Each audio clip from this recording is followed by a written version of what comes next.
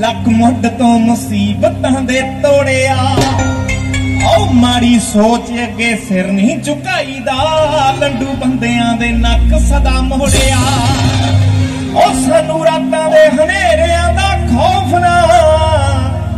ਸਾਨੂੰ ਰਾਤਾਂ ਦੇ ਹਨੇਰਿਆਂ ਦਾ ਖੌਫ ਨਾ। ਤੇ ਸਦਾ ਸੂਰਜਾਂ ਦੇ ਰਹੇ ਨਿਕ ਮਾਣਦੇ ਓ ਕਿੱਥੋਂ ਮਾਰੇ ਦਿਨ ਮਿੱਤਰਾਂ ਨੂੰ ਢਾਉਣਗੇ ਅਸੀਂ ਚਾਬੀ ਕਲਾਹ ਚ ਜਾਉਣਾ ਜਾਣਦੇ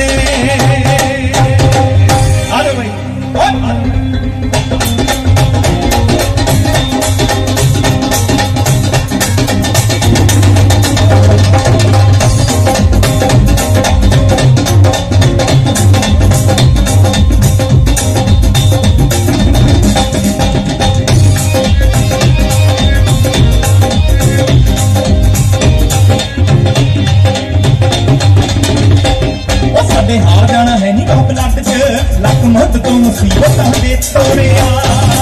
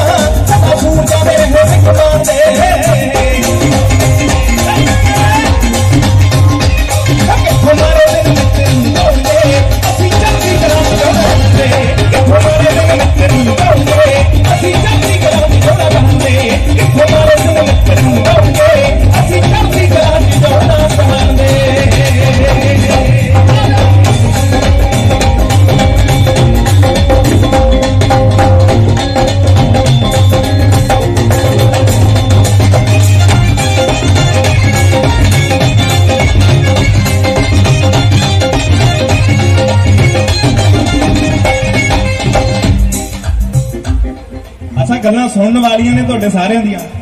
ਥੋੜਾ ਸਲੋ ਕਰ ਲਓ ਟੈਂਪੋ ਕਿ ਜਿਹੜਾ ਦੌਲਤਾਂ ਦੇ ਬਲ ਬੂਤੇ ਤਿੜਦਾ, ਸਾਡੀ ਜੁੱਤੀ ਵੀ ਨਹੀਂ ਯਾਦ ਉਹਨੂੰ ਰੱਖਦੀ। ਆ ਹੋਵੇ ਆਮ ਕੋਈ ਹਾਲਾਤਾਂ ਨਾਲ ਭਿੜਦਾ, ਤੇ ਗੱਲ ਕਰੀਦੀ ਐ ਸਦਾ ਉਹਦੇ ਪੱਖ ਦੀ।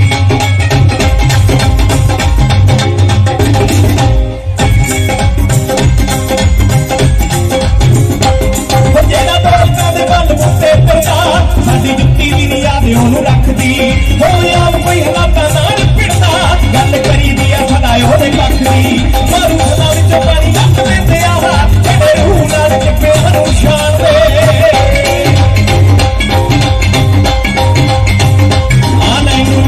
ਰੀਲਾਂ ਤੇ ਇੰਸਟਾਗ੍ਰam ਤੇ ਤੁਸੀਂ ਬਹੁਤ ਪਿਆਰ ਦਿੱਤਾ। ਕੀ ਕਹਿੰਦਾ?